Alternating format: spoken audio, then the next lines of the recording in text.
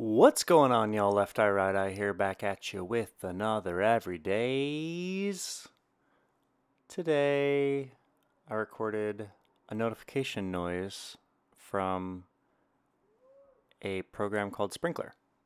Uh, and uh, recorded that and looped it, found the key, found a tempo, played a little electric piano over that shit, and uh, played around with a little bit of automation. Um, and uh, and that's it for today. I'm gonna keep it light. So I hope you enjoy the rest of your evening.